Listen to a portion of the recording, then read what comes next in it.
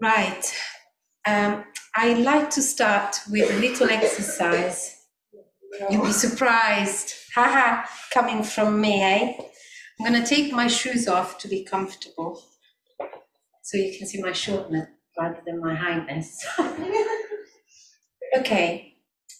There is a, a very simple exercise that you do when you have to project your voice.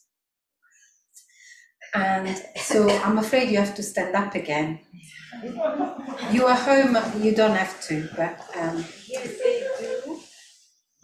there is something about your posture. You have your legs slightly apart, not like that. You need to be really relaxed, shoulder relaxed, okay? And then you do to as long as you can carry it, but it has to come from your tummy. So you have to be relaxed. And you go.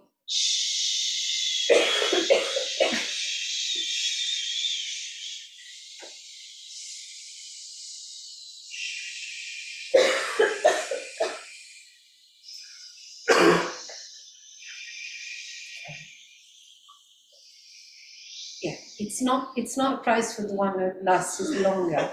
It, it's uh, it's uh, an exercise to help you to relax and sing from your tummy, from the diaphragm. And it's a it's you don't expect from me a talk, uh, a very articulate talk. It's just I want to talk about what the Lord has put in my heart for a while. And one of the picture He gave me was of somebody very relaxed, just speaking into speaking the word into reality. Because Jesus is the word. Now you can sit down now. I'm not expecting you to all stand. Um, people in community know, and some people particularly laugh at me because I'm often talking about my own death. And uh, and it's a phrase, it's a funny turn of phrase that during a conference I just said, well, I don't have the, what have we got to live?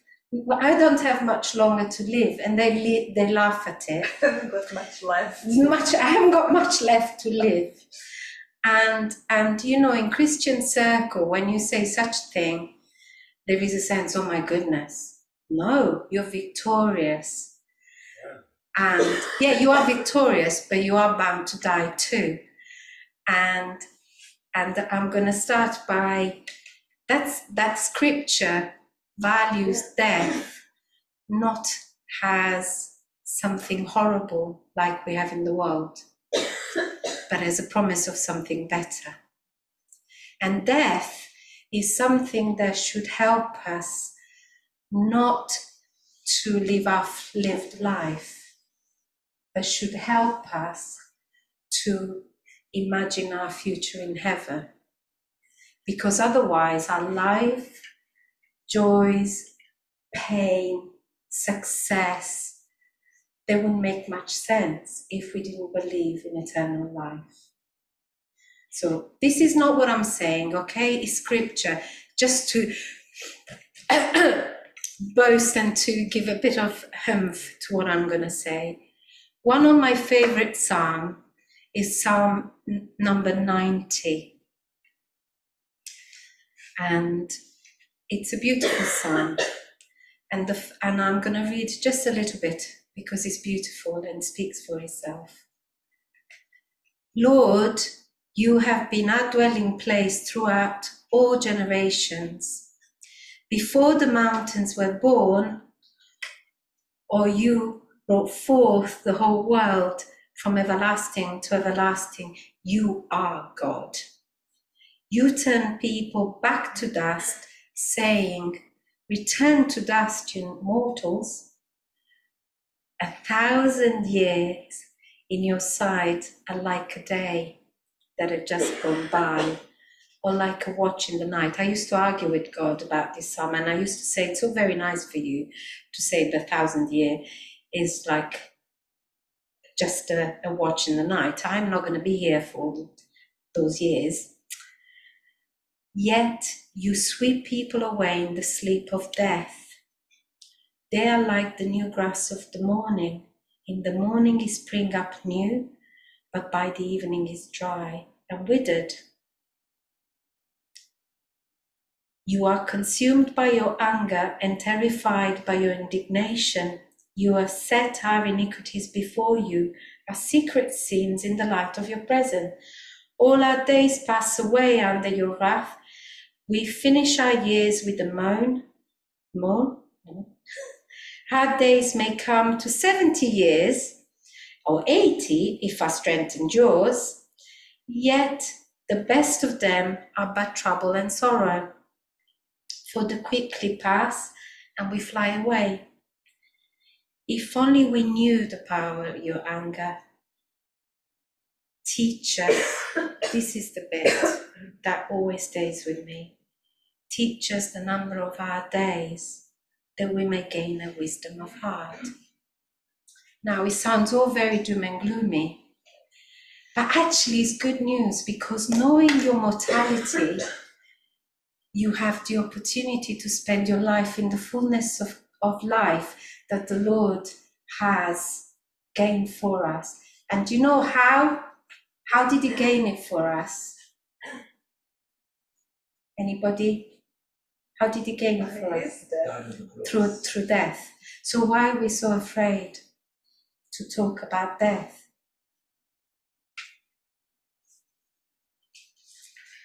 What, Do you want the answer? Yes. He died and rose again. Yes, but death, death is what we need to talk about because dying to self is part of the deal, Joe. It's good to talk about resurrection, but where is death in all of that? Where is the dying to myself, to what is my sinful nature? Not dying to Him, not dying to the heavenlies. This is why it can be controversial okay, what I'm about to say. But Jesus said in John 12, unless the seed dies in the ground, it cannot bear life. So that's the death I'm talking about. And if we are not able to talk about death and accompany people who are dying with that heart, then what are we doing here, brothers and sisters? I'm not being preacher like, it's actually on my heart. If I don't believe in heaven, you tell me, why am I wasting time here? Might as well enjoy myself like they do in the world on Friday night. Go boozing. You know, I like a drink. you know, why am I here? Why are we here tonight? It's because we want to catch a glimpse of eternity. The word that the Lord gave me, and it was quite funny, was you know, when you say that the Lord gave me a word, even that, the Lord spoke to me of speaking, imagining that in this room there are no Christians. And if I said to my dear friend, I'm not going to name the friend I'm talking about, but if I say to my lovely friend, the Lord spoke to me, he's going to look at me saying, She's funny in her head. What she's saying. So if you weren't Christian, I would say to you, I had this gut feeling in my spirit or in my heart. Procrastination. Do you know the word procrastination? Are you a procrastinator? Yes. Right. Me too. Who else is a procrastinator here? Anybody? Yeah, Pedro, thank you so much. it makes me feel better. Anybody else? I'm just differing whether to respond. no, I laughed even at tonight. I thought that was funny. Our little technical. Sim is a procrastinator. Right.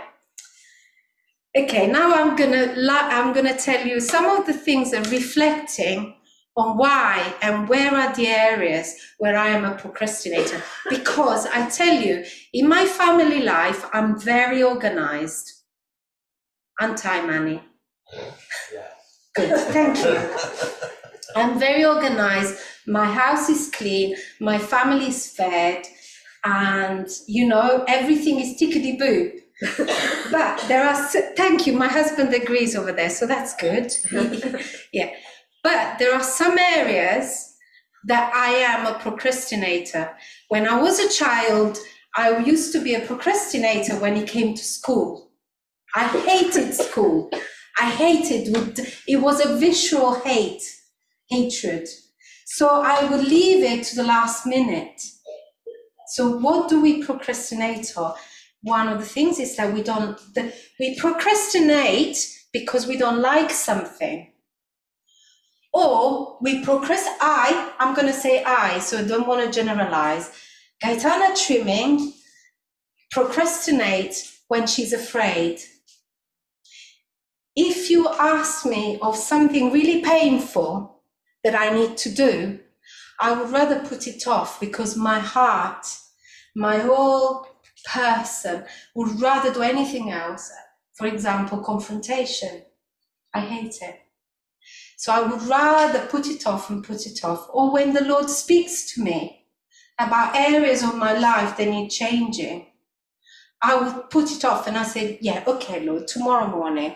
It's like the people who have who smoke and will say, I'll have the last fag and that's it. I know what I'm talking about. Okay? Because I know my vices too. So procrastination, I'm gonna tell you one thing that I found out, it's not me. It's actually Martin Luther King says, when there is a hill to climb, don't think that waiting will make it smaller. This is just to make you smile a little bit. Another gem I found saying Google you don't have to see the whole staircase. Just take the first step. So, when we talk about community, when we talk about church, when we talk about our life, what are the area that make us freak out, that, that we don't want to die to? That's what that's the death. I'm not entitled to talk about palliative care. I just want to reassure you. I wasn't talking about that form of death although in my life I've seen quite a few people dying. And and lately, as you know, I have accompanied, I've had the privilege to accompany somebody die, and it was a great privilege to see the journey. But I'm not here to talk about that.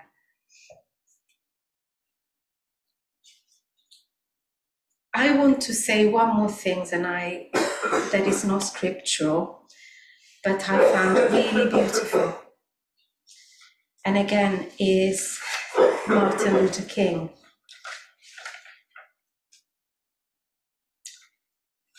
We are now faced with the fact, my friends, that tomorrow is today. We are confronted with the fierce urgency of now it's not tomorrow that we evangelize, it's today. It's not tomorrow that we change if the Lord is telling us, it's now. There is an urgency. In this unfolding conundrum of life and history, there is such a thing as being too late. Procrastination is still the thief of time. Life often leaves us standing bare naked and dejected with a lost opportunity. Over the bleached bones and jumbled residues of numerous of civilization are written, written the pathetic words, too late. Now let us begin. Now let us dedicate ourselves to the long and bitter but beautiful struggle for a new world.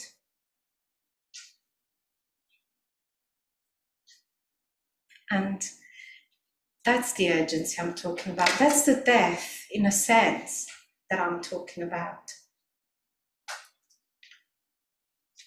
It's the, the hope of change, is the sense that if the Lord is asking us to do something now, and we procrastinate because we are afraid of what He would means, then we, we are not responding to the fullness of life. We are actually, yet again, we are crucifying Jesus in a sense.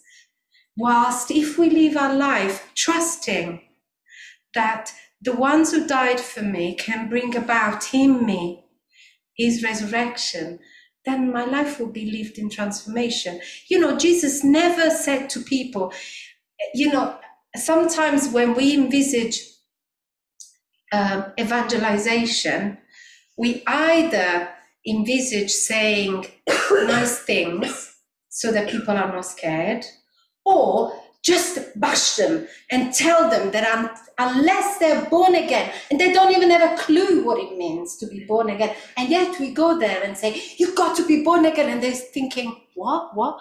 And and either do that or we say, Oh, it's all right. Jesus loves you. But Jesus always spoke truth. But he did it with so much love and tenderness. He never judged anybody. So I was imagining myself in the in the shoes of the woman at the well when she yet again out of fear out of fear call it procrastination she tells the people in front of her what she's used to say despite the fact that she's gone to get the water at the well when nobody's around so that she's not seen because she's too ashamed of who she is then he she says to him, Yeah, I'm gonna go and fetch my husband. And he just says, he doesn't say, Your husband isn't there. He says, But you're not married. It's just a fact. He doesn't bash her, he just tells her the truth. And, and when I talk about dying, I'm talking about that. I'm talking about the courage to move forward. And as a community, if we don't have the courage to look at the future of community, we, we are not dying. We're not dying in order for, uh, for the body of Christ to be resurrected. This is what the Lord has called us to do to die, to give our life away in order to see the future. And I want to read something that Mother Teresa of Calcutta, or Saint Mother Teresa, said. I used to believe that prayer changes things. But now I know that pray, prayer changes us and we change things. To say sometimes when it's really obvious that the Lord is calling us to speak out, to, to merely say, I'm just praying about it, it's a poor excuse. I'm not saying it's always the case because sometimes we like bull in a china shop and we think we are transforming the world. It's not that, it's Jesus.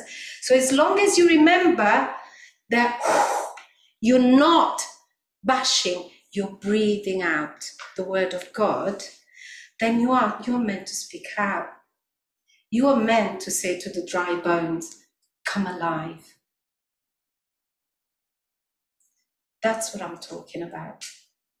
I'm talking about the courage to be changed by prayer. I need to be changed by prayer in order to be the, the, the woman that the Lord has called me to be. And sometimes it's pretty tough because there is nobody in this room who cherished the idea of being disliked.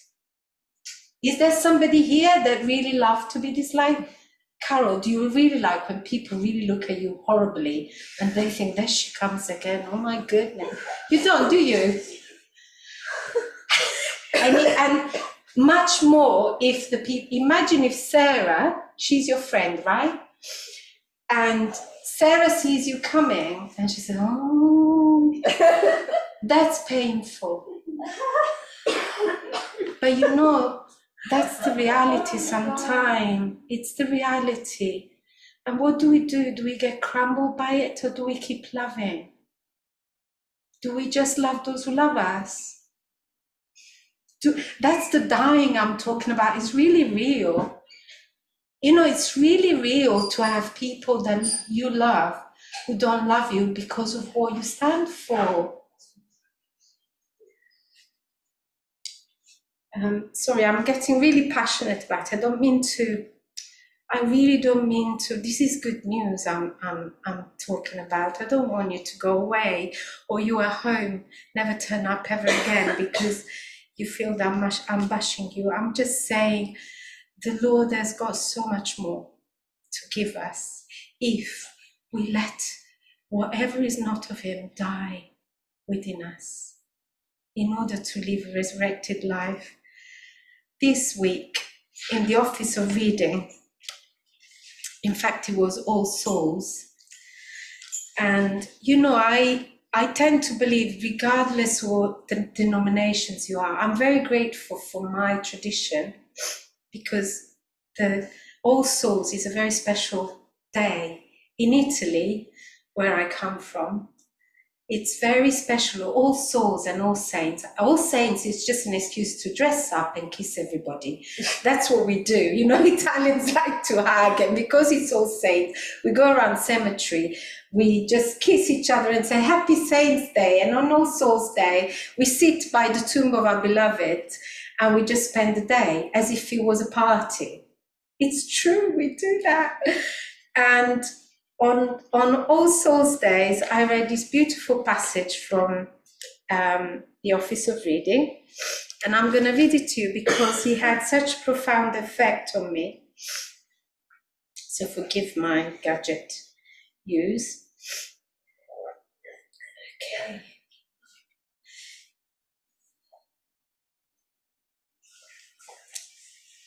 This is from the Office of Reading. What more need be said? It was by the death of one man that the world was redeemed. Christ did not need to die if he did not want to. But he did not look on death as something to be despised, something to be avoided, and he could have found no better means to save us than by dying. Thus, his death is life for all. We are sealed with the sign of his death. When we pray, we preach his death. When we offer sacrifice, we proclaim his death. His death is victory. His death is a sacred sign. Each year, his death is celebrated with solemnity by the whole world. What more should we say about his death, since we use this divine example to prove that it was death alone that won, won freedom from death. And death itself was its own redeemer. Death is then no cause for mourning, for it is the cause of mankind's salvation. Death is not something to be avoided, for the Son of God did not think it beneath his dignity, nor did he seek to escape it. Death was not part of nature, it became part of nature. God did not decree death from the beginning, He prescribed it as a remedy. How about that? death as a remedy. So, how about the fact that every time I die to myself, I am set free by death itself? He says in Ephesians chapter 5 Wake up, sleeper, rise from the dead, and Christ will shine on you. Be careful then how you live,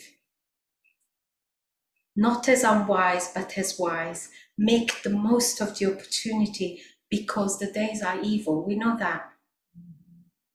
Therefore, do not be foolish, but understand what the Lord's will is.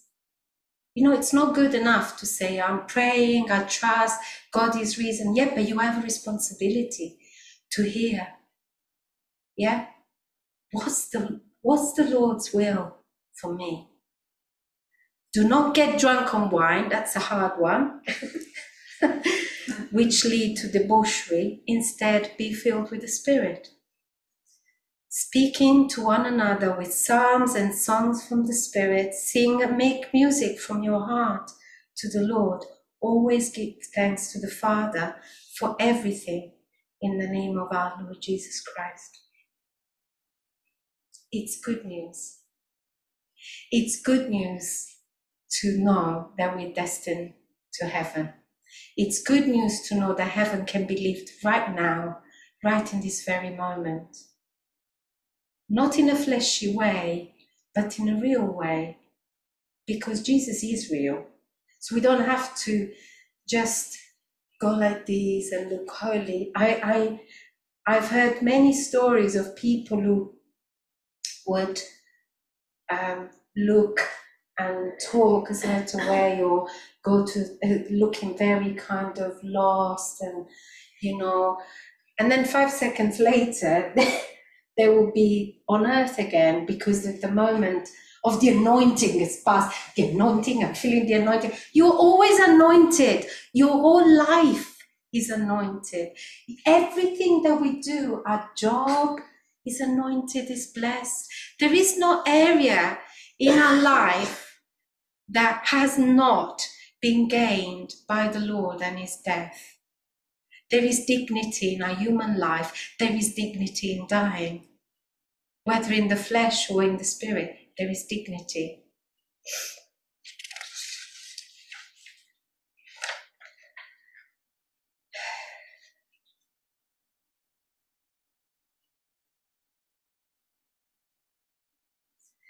One of the difficult things uh, when when you look at situations or or people is exactly the procrastinating spirit of this world because in this world because things are tough people will say well let's just ignore the problem so for example tonight when we were in the chapel we were praying and Sylvie shared about the fact that people don't care about the planet. And Tom said, Yeah, that's right, because you think I'm not going to be here forever, so who cares about plastic in the ocean or, you know, it's fine, I'm not going to be there. That means we're not our brother's keepers. You know, And we let people and situation and the world dying. So that's that's that's procrastinating. and and people do that in the world because they think as long as they've got food on the table and money in the bank, then they're fine. And they forget that it takes very little. We are we are mere mortal.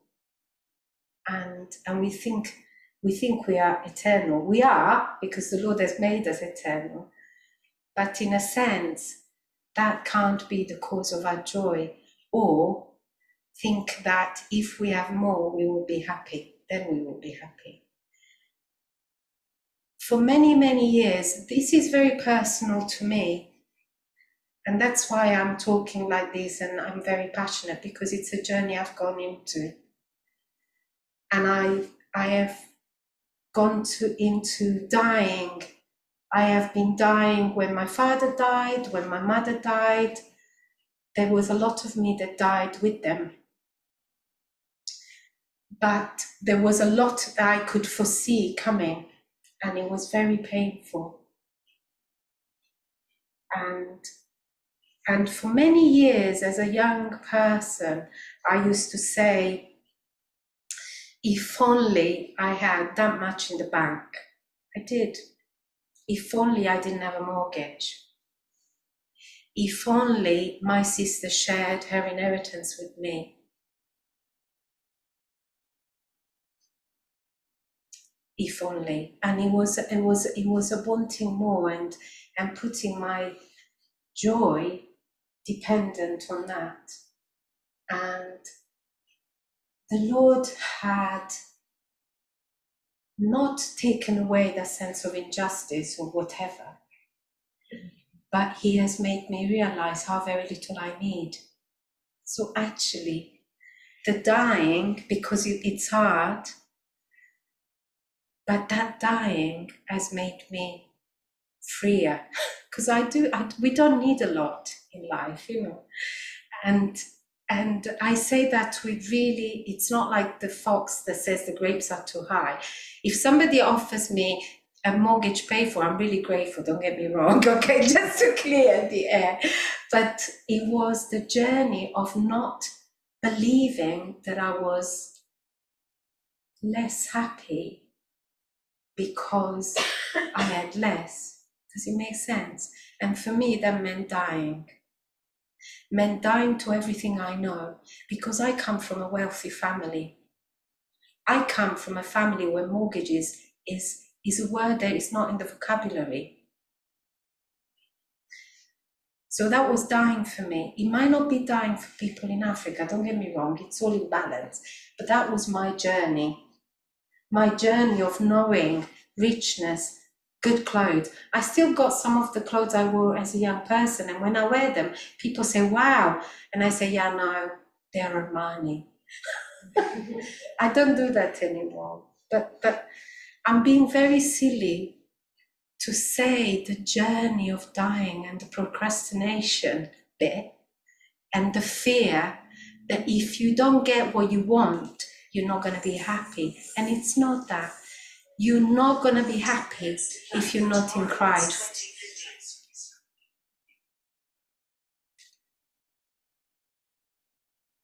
Do you remember what the servant?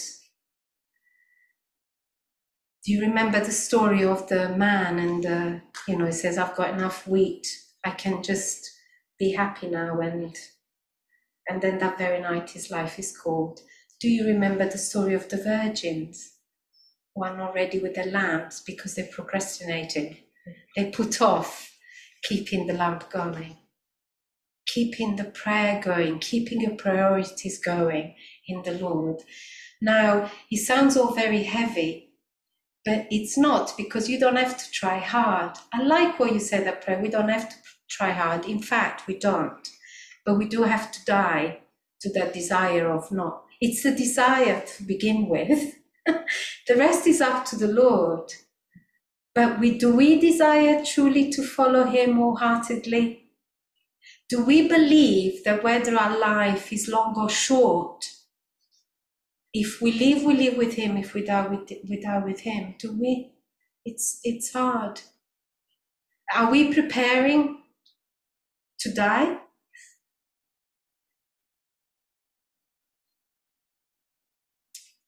Are we? And if we are, how are we imagining it? It's a mystery, it's a profound mystery, and it's a mystery that I know there are books written by people who've come back to life and all of that, and you can take it or leave it. I'm not here to convince you about that. That's not what I'm on. But what fascinates me when people are dying in the real sense especially if they are in a coma, is that it's their journey with the Lord. You don't know what's going on, but I am certain, I am certain that even after that, even for the people who might die and not be reconciled with the Lord, I am convinced that we can still pray. Because the mercy of God are not our mercy. His sense of justice is not our justice. So I, you know, I believe that even from hell we can save people. St. Paul says so. Some save them from the fire, he says. So I hope this is good news, everybody at home. I, I hope I, I have, and you here, I hope you, I haven't put you off. And if I have, hey, I'm sorry. I hope that you don't love me less because of that. because that will that will crush me and then I'll have to go on a journey of dying, blah blah blah. You know, I do enough of that. Not really. Um, I would like to read you one more thing about vision because it's really important because it's vision that help us to die.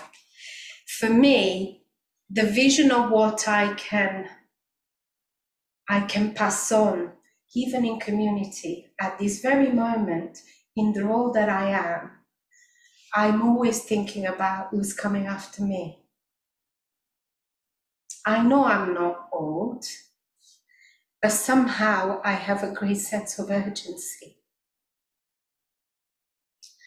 And sometimes jokingly, I say to Sylvie, when I die, and you have to you have to talk to Manny, so you have to you have to tell him that everything is all right. but I think of the future. I think in a hundred years, House of the Open Door, who will be here?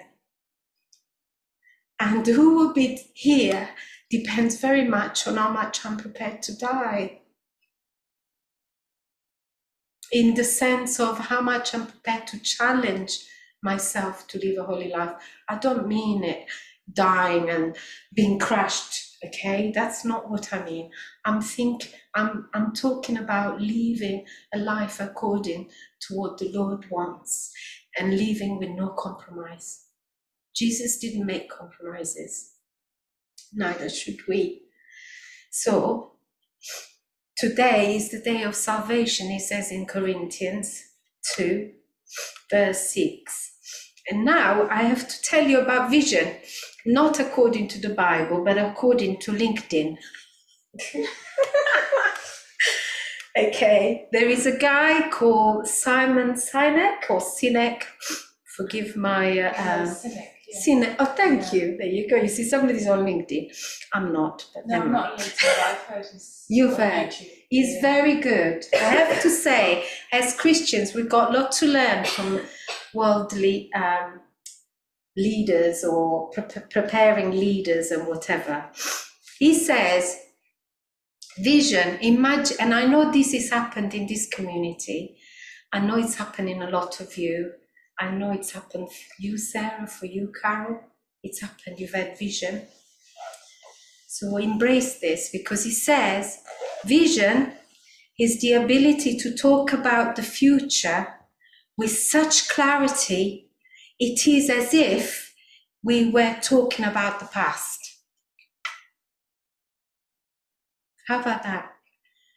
You talk about vision, something has not yet come, as if it was here already. And that is the vision of heaven I'm talking about, obviously. I'm making him talking about heaven. He's not talking about heaven, but I'm talking about heaven. Yeah? That the vision of heaven, that he's ahead of us and he's here, he's so present that it seems like we're already there. You know, we're already in heaven. We're already in heaven when we when we pray and therefore we do things. I have got a new new say. You know Descartes, famous philosopher, he used to say, I think, therefore I am. Okay, it's all about him and thinking and all that. That unfortunately has affected a lot of our um, Western mind. Well, I, I like to say, whether it's theologically correct or not, but it's my new phrase I think, therefore I pray. Or I pray, therefore I think.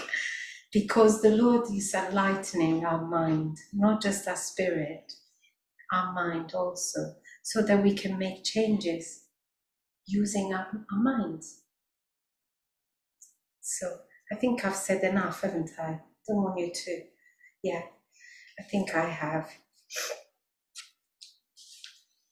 So the last thoughts, just because I like all these people that I've been mentioning, I mentioned Luther King. I haven't mentioned tonight Mahatma Gandhi, but I like him too. and I've mentioned Mother Teresa.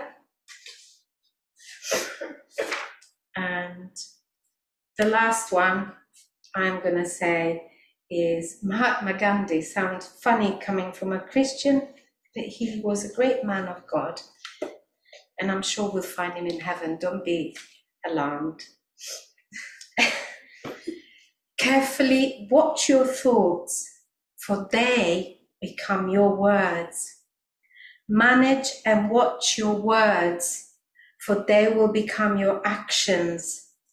Consider and judge your actions, for they have become your habits. Acknowledge and watch your habits, for they shall become your values.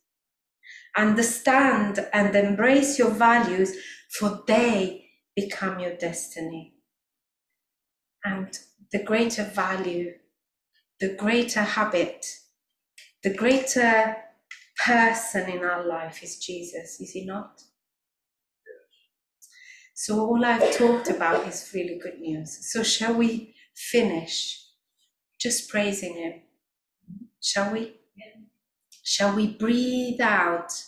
Shall we let out the praises of Him into the darkness tonight? Because there is a lot of darkness, but there is a lot of light. And if you are in the darkness, you appreciate the light even more. So we thank you, Father, that you gave up your only Son for us. We give you thanks because you give us the ability through your grace to not be afraid, to not put off the calling that you have made us, you made in our own individual lives, in our communities, in our churches, in our villages, you give us the ability not to be procrastinators, but to go and even in trembling and fear, one step up to the other, Lord, you will lead us through. We trust, Lord, that it's enough for today to see the first step. And I want to pray for anybody tonight, whether in our midst or in our hearts, who is still watching that first step. I just want to pray, Lord, that you give courage. Give us courage to make a step forward and to rejoice because one more step has been taken. Lord, help us not to look too far away, but to today. Help our today to influence our tomorrow. Send your Holy Spirit, Lord. Send your Holy Spirit and change. Change our mourning into dancing, Lord. And Lord, we pray for all those who are dying, for all those who have passed before us. I want to pray for the gentleman in the village who died last night. Father, just have him in your arms. Lord, just be his wife consolation. Lord, may she see heaven. May she experience heaven in her grief. Lord, you said that all our tears will be wiped away. Lord, we offer you the tears of regret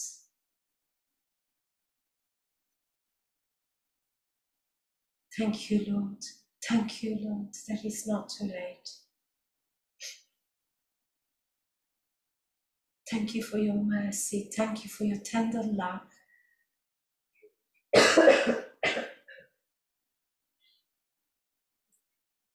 Thank you, Jesus. Keep our hearts in the heavenlies. Keep our feet on the ground and our eyes into heaven.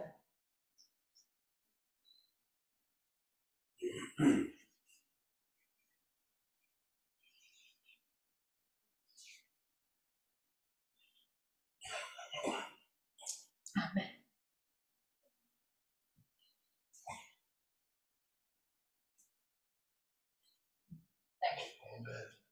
Amen. Thank you very much, everybody. Thank you, Gae.